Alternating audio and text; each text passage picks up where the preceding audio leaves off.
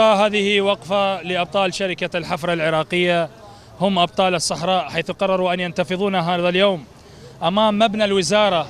لعل السيد معالي وزير النفط يصغي إلى مطالبهم التي ما هي إلا مطالب مشروعة وهي مطالب قليلة بحق تلك الجهود الذي التي يقدمونها. يقدمون هؤلاء الأبطال التضحيات حتى تصل إلى الوفيات في ظروف العمل. الغازات السامة ظروف العمل المريرة. وكل هذه الجهود التي تبذل منهم لا يوجد أي شيء أو ثمن يقدر تلك الجهود. للأسف لا نرى على أرض الواقع أي اهتمام بهذه الشريحة. كل هؤلاء الذين تراهم يقفون هنا في هذا المكان أتوا من جميع محافظات العراق. يسهرون الليل مع النهار على مدار 24 ساعة. العمل مستمر في ظروف المناخ الحر. البرد في كل هذه الظروف يعملون. لا يوجد أي شيء يتناسب مع هذه الجهود. للأسف الاهتمام يكون بالشركات الأجنبية أكثر من الشركات العراقية. المطلب الرئيسي هو التلبية للمطالب المرفوعة من قبل هؤلاء الأبطال ونحن كلنا أمل بمعالي السيد الوزير لأن يستجيب إلى هذه المطالب.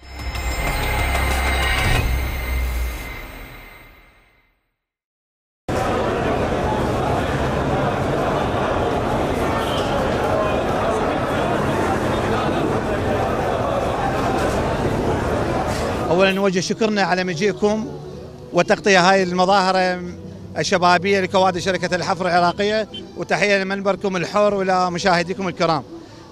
خرجت هذه الجماهير وهذه الكوادر الوطنية العاملة في شركة الحفر العراقية المطالبة بأبسط الحقوق وهي المحافظة على الدعوة إلى بسبب التهميش وعدم الاهتمام وعدم تلبية مطالبها لأكثر مرة خرجت تظاهرات وأنا نجد يد صاغية. هذه الكرادير الوطنية. أنا بس أوضح المشاهدين الكرام هؤلاء يعملون في ظروف جوية قاسية جدا تحت درجة حرارة 50 المؤسسات الحكومية كلها تعطل الدوائر الحكومية كلها تعطل وهو يعملون في أسوأ الظروف الجوية. وهم يتعرضون لمخاطر جمة وهي وهو العمل الثاني أخطر بعد بالعالم بعد المناجم. لذلك خرجت مطالبة بأبسط الحقوق. هي داعمة ورافدة لاقتصاد البلد. هي منافسة لشركات جولة التراخيص. هي التي ترفد الاقتصاد البلد في كل عام مليارات الدولارات. هي التي جعلت تكلفة البرميل النفط 4 دولار بالنظر للشركات الأجنبية اللي كلفت 13 دولار بعدما كانت تكلف 24 دولار بسبب عمل وجهد وأخلاص هذه الكوادر أخفضت الشركات الأجنبية تكلفة البرميل من 24 إلى 13 إحنا نطالب معالي الوزير بالتدخل شخصيا من أجل معالجة سلبيات يتعرض لها شركة الحفر بسبب جولة التراخيص. نطالب معالي الوزير بالتدخل لإنصاف هذه الكوادر وإحقاق الحق. نحن لن نأتي من أجل المال أو من أجل أجل شغلات شخصية، نحن أتينا من أجل إنصاف شركة الحفر، من أجل دعم شركة الحفر، من أجل أن تبقى رافد قوي لاقتصاد البلد ومنافسة للشركات الأجنبية، يجب على المسؤولين أن يعرفوا ويعلموا ويدركوا خطورة هذا العمل يقوم به هذه الشباب، هؤلاء الشباب مغيبين في الصحراء، هؤلاء الشباب لم يسمعهم أحد، لذلك نطالب معالي الوزير وهو آب وأخ لهذه الكوادر أن يكون له حضور وبصمة لمعالجة ما طلبات هذه الكوادر. وشكرا لكم وجزاكم الله ألف خير.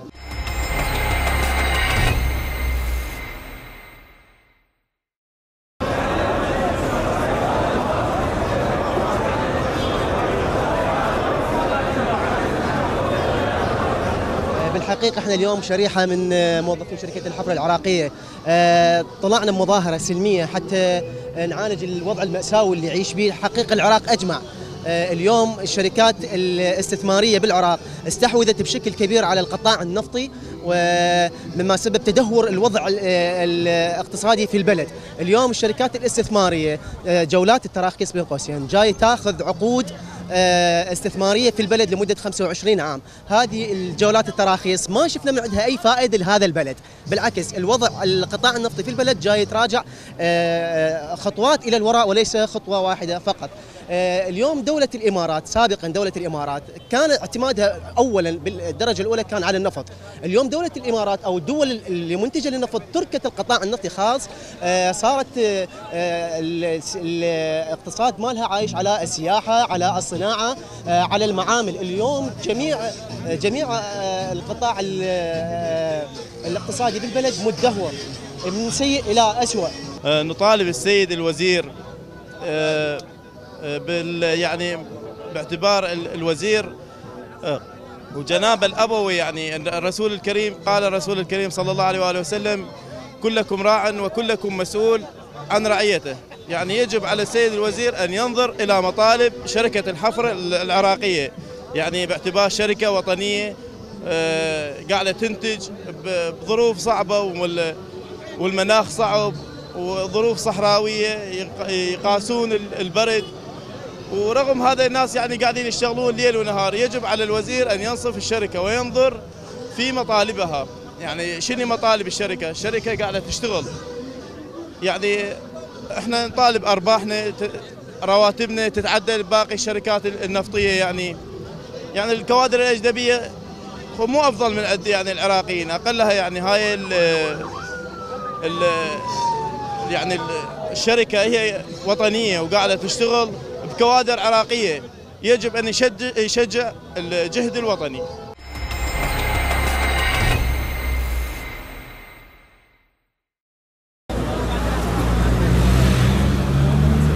وقالوا اعملوا فسيرى الله عملكم ورسوله والمؤمنين. صدق الله العلي العظيم. بالحقيقة إحنا شركة الحفر العراقية أحد تشكيلات وزارة النفط. طبعا هاي الشركة إيش قد ما تضحي وايش قد ما تشتغل وعندها أبراج بالعمارة وبالناصرية وبغداد وبكل مكانات ماكو حقوق إلها. أول شيء هي ما معدة من ال- الشركات اللي مقسمة على الوزارة. يعني كاعتبروها مقاولة. هاي الشيء الشيء الثاني المنتسبين 8800 إلى 9000 ما لهم أي حقوق. يعني مجرد يعني من دون ال- الشركات تلقى أكو تقصير. مع العلم إحنا نكون آه، على بين من أمرنا إنه مدير العام الرجال جاي يركض وجاي يذب ما وجهه على الوزارة فما حد يساعده. إحنا طلعنا بموافقة مدير العام موافقة رؤساء الأقسام. إحنا جاي نحكي مطالبنا مطالبنا كالآتي أول مرة. أنا 31 سنة خدمتي لحد الآن ما عندي قطعة أرض وقاعد أجار. وأنا مدير أقدم. زين إحنا بالنسبة لنا شو ينتظرون أطفالي؟ أنا عندي 18 ماخذ ثلاث نسوان يعني بيت ما عندي لحد الآن ملك بالعراق. وأنا مدير بوزارة النفط. يعني حتى أهلي يقول شلون أنت مدير ولحد الآن ما عندك. هاي وحدة حالة من الحالات. شيء ثاني كان عندنا ضمان صحي. يعني أنا عندي ابن مريض أروح يعطوني 80% من ال بالتكافل. هاي شالوها. الشغلة الثالثة إحنا شركتنا ما جاي يطول حقها اللي, اللي اللي يستحقه شركة أبراج وحفر و spare part وموارد احتياطية وناس يشتغلون بظروف صعبة. يعني اللي يريد يشوف خليه يتابع الفيس يشوف شركة الحفر العراقي شلون شغل يعني بالرمل مناطق عندنا ما ما تقدر توقف بها جاي نشتغل بها ليش شنو شنو السبب هال هالإهمال هاي بهاي الشركة؟ فنطالب قطع أراضي ونطالب بحقوق ونطالب جعل شركة الحفر العراقيه كما كانت. أنا متعين ب 88 لحد الآن الشركة جاي تنزل للاسفل ليش؟ شنو شركة مطلوبة؟ وإحنا عندنا 40 برج يحفر. على أساس. ضمان صحي زين ضمان صحي ماكو. الحوافزنا ما على كل إحنا جايين وقفة سلا بالضبط السلمية جايين نعطي آرانا السيد الوزير. سمعنا سمعنا ما سمعنا نظل نحتاج يوميا إلى أن نأخذ حقوق.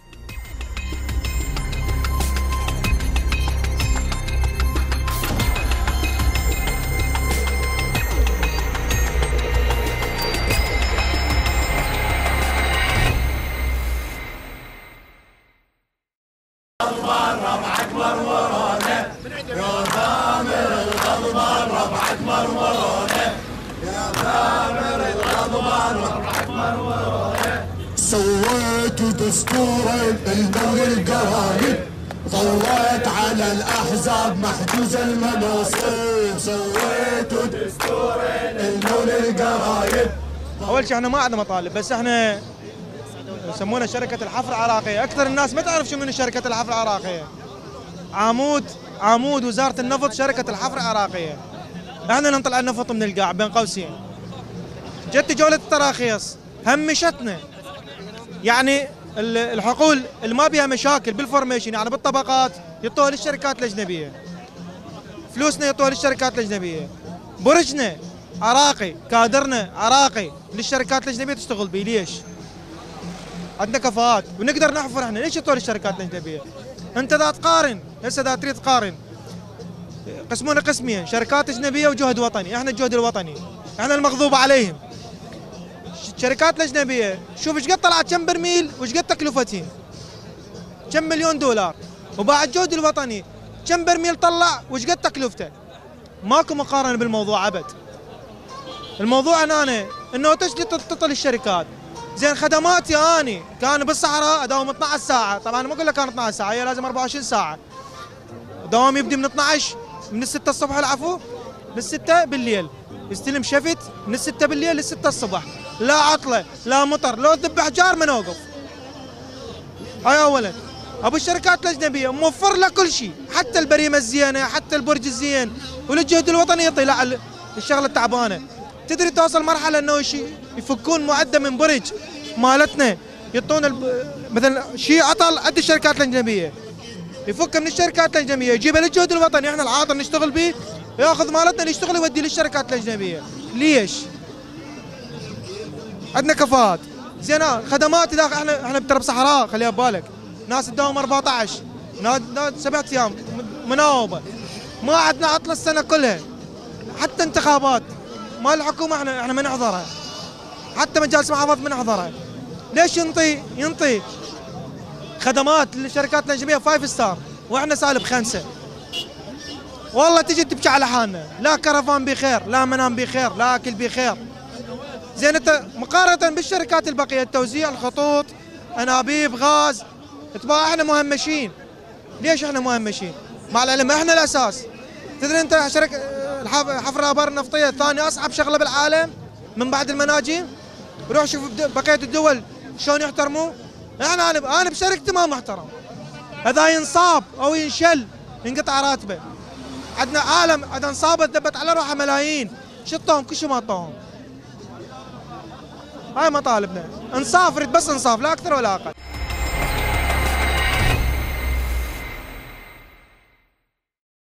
طلعت على الأحزاب. محجوز المناصب.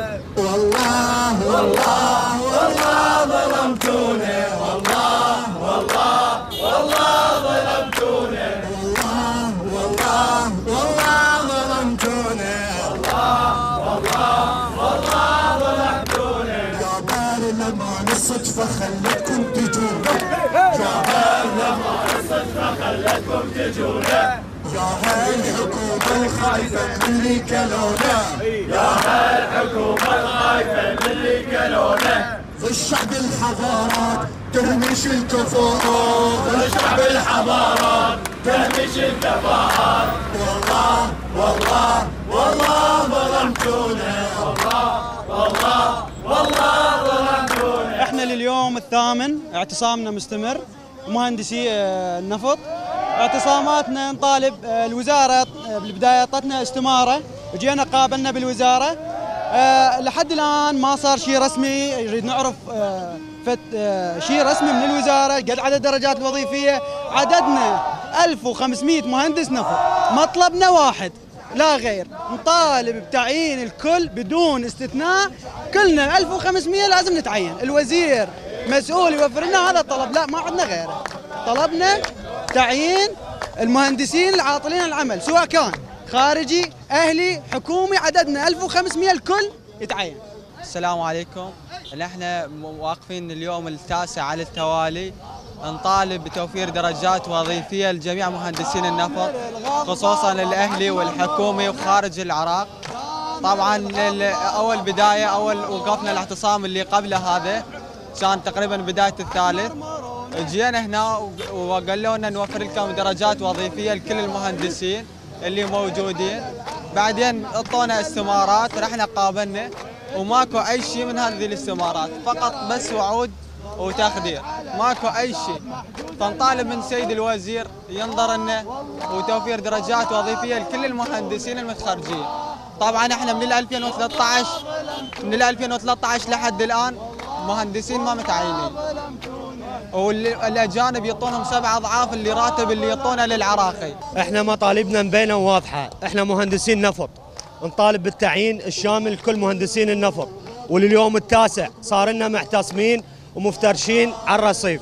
ولحد هاي اللحظة ولا أي مسؤول من الوزارة نزل لنا ولا أي شخص. وإحنا باقين ومعتصمين لحد التعيين الشامل للكل بدون انسحاب وبدون أي شيء.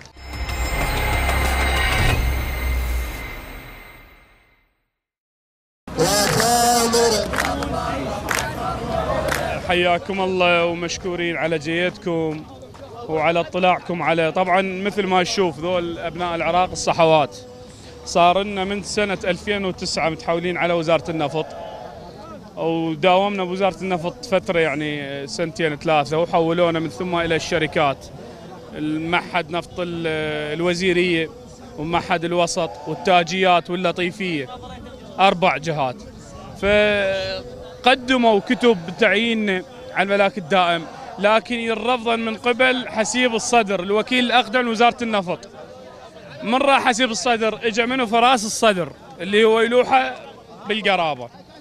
أيضا كل ما يرفعون آه، كتاب يرفضه فمثل ما يشوف إحنا طلعنا أكثر من مظاهرة ودائما نجي هنا نتظاهر يوعدوننا خير تالي تطلع الوعود كلها أكاذيب.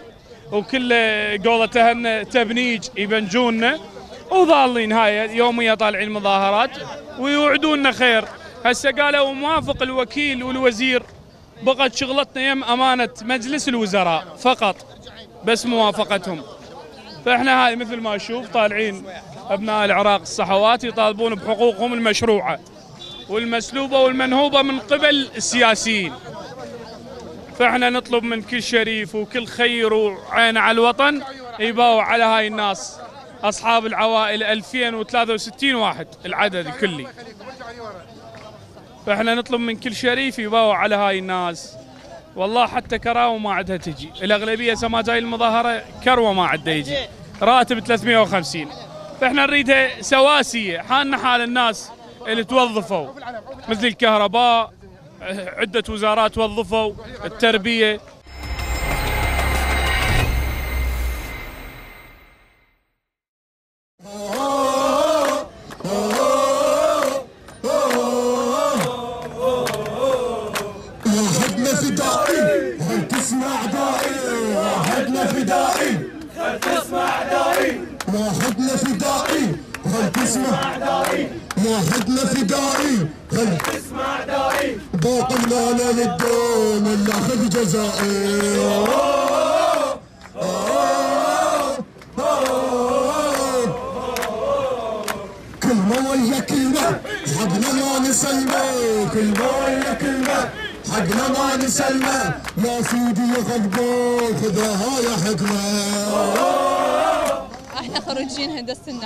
هذا الأسبوع الثاني.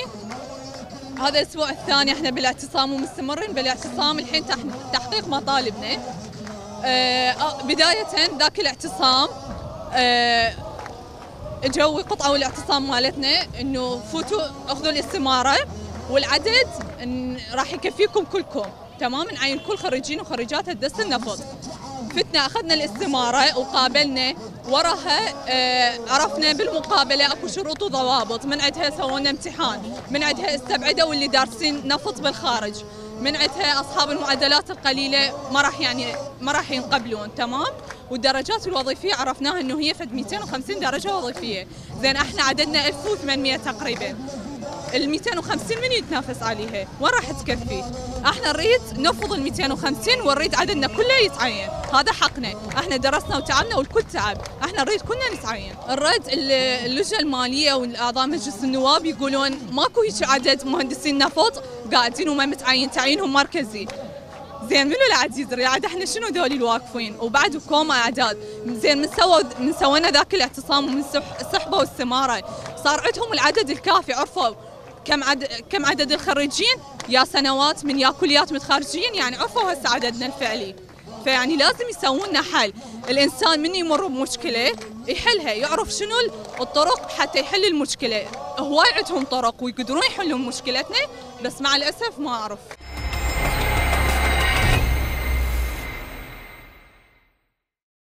طبعا أستاذ العزيز إحنا هذا مو اول اعتصام لنا هذا الاعتصام الثاني على التوالي. بس أحب أذكر الوزير أول ما سلم المنصب قال سنعد أبنائنا من خريجين هندسه النفط بالإنصاف. وين الإنصاف يا سيد غضبان؟ ماكو ما التهميش قاعد نلاقي عمليات تهميش. يعني ناشدنا الحكومة ولا واحد اجى شاف شريد شاف مطالبنا طلع عليها. الساده النواب أنتم مو تمثلون الشعب. تعالوا شوفوا أبنائكم. يعني هسه إذا واحد من أبنائكم واقف هنا ما تجون تحرقون الدنيا. تعالوا شوفوا شريد شوفوا مطالبنا. وقفوا ويانا. أنتم اللي تمثلون الشعب. المفروض هسه كلهم موجودين هنا. بس هذا إحنا الثمان أيام بايتين هنا على الرصيف إذا تشوف تاخذ لقطات همينه وهذا اليوم التاسع على التوالي. وماكو أي استجابة من الحكومة. ولا واحد جاء قال لنا السلام عليكم يا باش محتاجين. وباقينا إحنا هنا. لازم إحنا مو عراقيين لنا حق بالتعيين على هذه الوزارة. وين نروح؟ واختصاصنا محدود. ما لنا غير شغل غير بالوزارة هاي. سابقا كان مركزي. بس الإدارة السابقة للوزارة يعني هي اخفقت بالتعيين للمهندسين النفط. والشركات الأجنبية جولات التراخيص هي أخذت حق المهندس العراق وقاعد تشتغل. والله العظيم اليوم الصبح سيارات قاعدة تطب للوزارة صينيين كوريين يباعون يضحكون علينا يستهزئون بينا. يعني ليش حرامات هيك كفاءات عراقية قاعدة تروح بلاش؟ نطلب غير جنسية مثلا غير أنا عراق واطالب بحقي. نريد نشوف استجابة ماكو. أي استجابة من الحكومة؟ ماكو. إلى متى؟ إلى متى؟ يعني حقوق الإنسان وين؟ هسه الغيرة الغيرة هسه شوف أبنائك نايمين على الرصيف. تعال شوف شو يريدون إذا إذا صابهم أي سوء أو مكروه غير أنت المسؤول أنت الحكومة أنت المسؤول ما شفنا أي شيء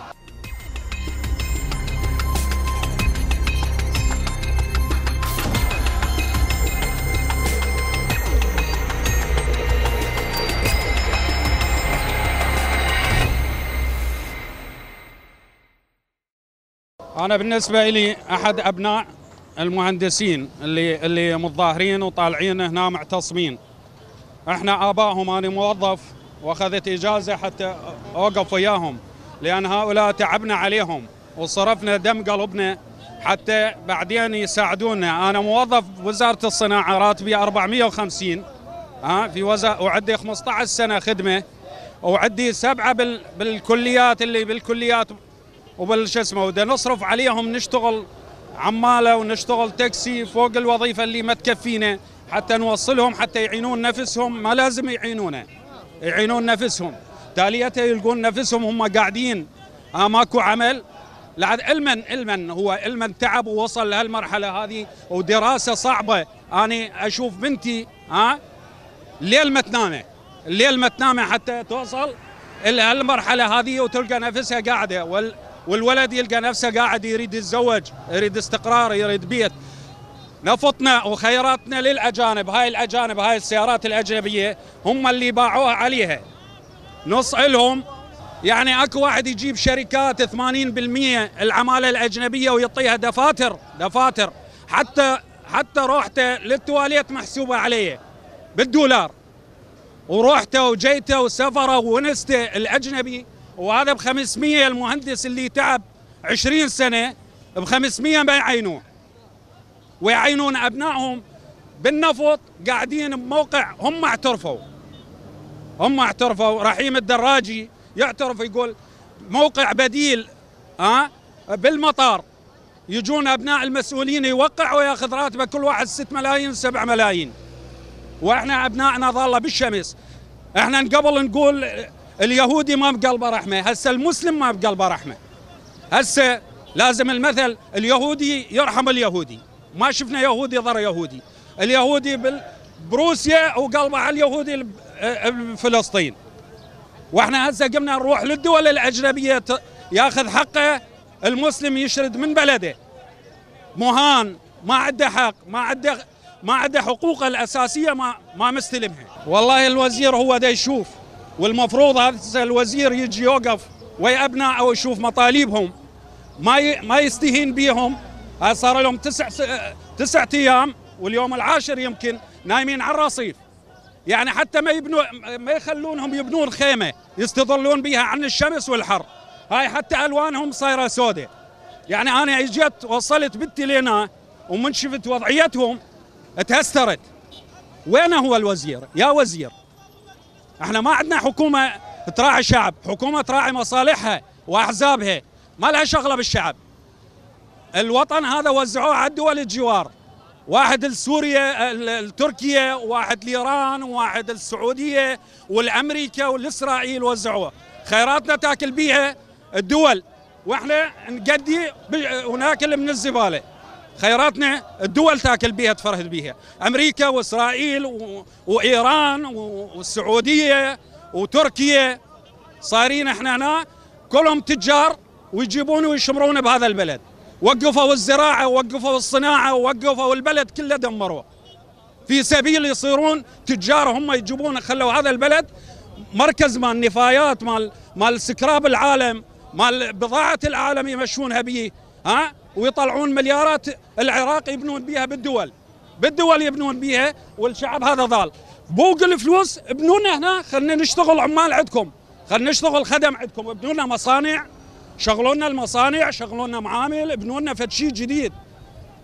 قاعدين بقصور صدام. الله يلعنه. ودوائر صدام اللي كانت تشتغل وقفتوها. شنو اللي قدمتوه لنا أنتم؟ شنو اللي قدمتوه؟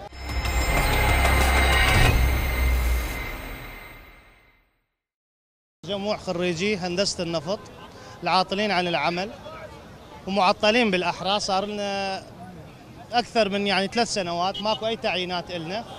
وأكو خريجين هم قدماء من 2013 و10 و11 أنا 2013 وأكو خريجين كليات أهلية وخريجين من الخارج.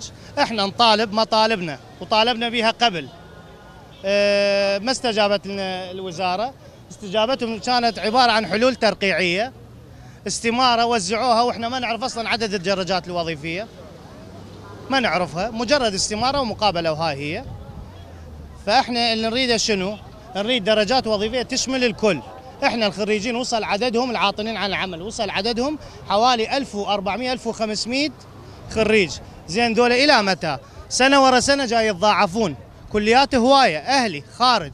نريد حلول جذرية للكل. نريد الكل ينشمل بالتعيين. مو بس الحكومي والأهلي ما ينشمل وأبو الخارج ما ينشمل. ليش الأقسام الأخرى الصحية والطبية ليش ينشملون؟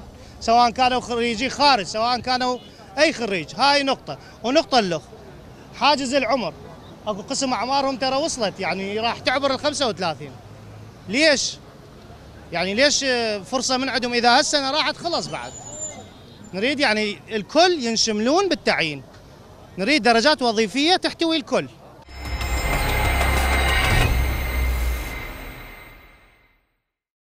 السلام عليكم أخوي إحنا عليكم السلام. عليكم إحنا مجموعة مهندسين نفط أعتقد إن الموضوع صار له 10 أيام صدى كبير بصراحة. هذا مهندسين معتصمين صار لهم 10 أيام نايمين على الرصيف ولد وبنات. الفكرة ما بيها الموضوع أخذ يعني صدى كلش قوي. والوزير ولا معبر. رئاسة الوزراء البرلمان يعني ناشد أي جهة مسؤولة إنه توقف وتحل هالمشاكل يعني ما يصير شباب العراق نايمين صار لهم 10 أيام على الرصيف والوزراء والمدراء العامين يمرون منك كانه ما شفاف والله ما حنشوفك ولا نزل عليك جامع.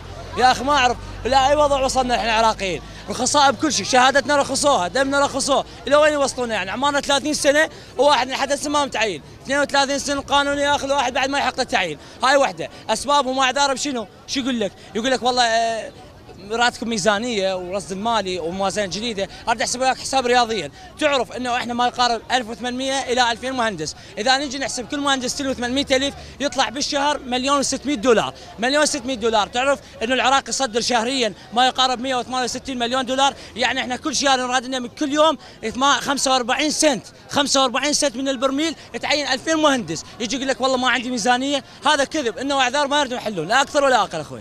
هذا كله عندي.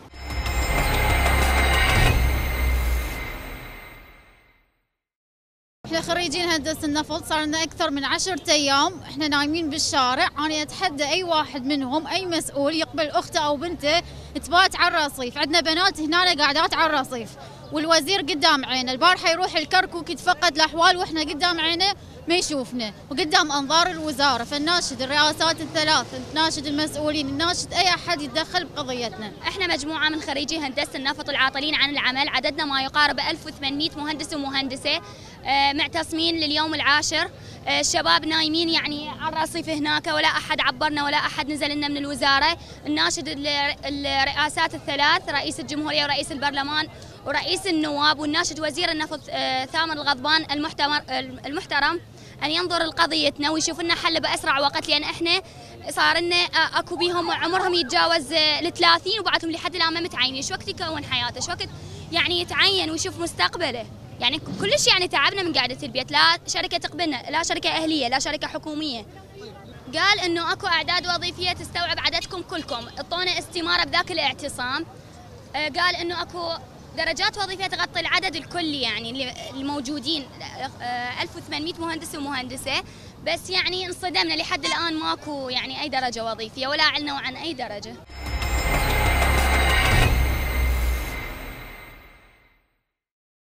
طبعا آه، إحنا هذا اليوم التاسع على التوالي. يعني هذا اليوم الثامن كمل دخلنا باليوم التاسع. مطالبنا كانت كلش بسيطة. أكثر من, من أكثر من مرة العفو طالبنا الوزارة بإيجاد درجات وظيفية والوزارة مو عاجزة عن إيجاد درجات وظيفية. بس الوزارة دائما ضليعة بإيجاد الأعذار. دائما ما تجد لنا أعذار أعذار واهية وتقنعنا بها. بس هالمرة وقفتنا غير شكل. هالمرة ظهورنا واستمرار الاعتصام لحد ما يتعين الكل. وماكو تفرقة لا بين خارج البلد ولا بين الكلية الأهلية ولا بين الكلية الحكومية لأنه الدرجات متوفرة والوزارة قادرة على توفير درجات. فهذا فشي يسير وبسيط وإحنا إن شاء الله مستمرين لحد ما توفر جميع الدرجات.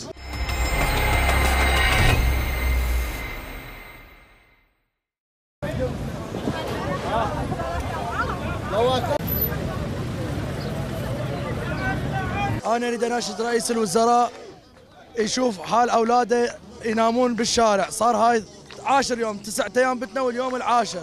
ما حد عبرنا ما حد قال لنا أنتم شنو. إحنا مهندسين نفط مو مهندسين كهرباء ولا أعمار ولا آه، مهندسين معماري ولا معاهد نفط. إحنا مهندس نفط مهندس النفط تنذل كرامته لهاي الدرجة.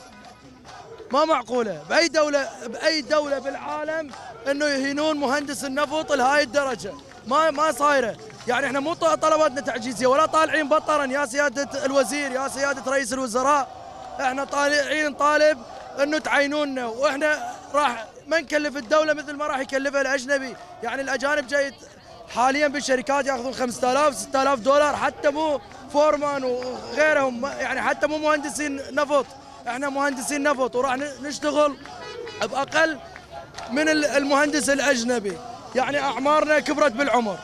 يعني أغلبنا صار 27 28 يعني خلال هالسنتين. إذا ما تعيننا يا سيدي يا رئيس الوزراء يا سيدي يا آه، وزير النفط راح نقعد بالبيت. بعد ما نقدر. ثاني شيء اختصاصنا كلش كلش كلش دقيق. يعني لا تقبلنا معاهد آه، آه، مال شرطة لا تقبلنا معاهد بال هاي المعاهد اللي هنا مال كلية القوة الجوية. ولا أي معاهد تقبلنا ولا أي شغلة يشغلونا ولا أي دائرة تشغلنا. إحنا مضطرين الا إلا نتعين بالنفط. لهذا إحنا باقين باقين هنا إلا تشوفونا حل ال- ال- شغلتنا. إحنا ما نتحرك من عند منا إلا ناخذ آه، كلام من السيد الوزير أو من رئيس الوزراء بتثبيتنا. تثبيتنا يعني آه، أو تعييننا.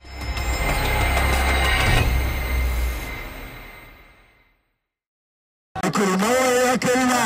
حقنا ما نسلمى وكل ما ويا كلمة. حق يا سيدي يا غضبان خذها حكمة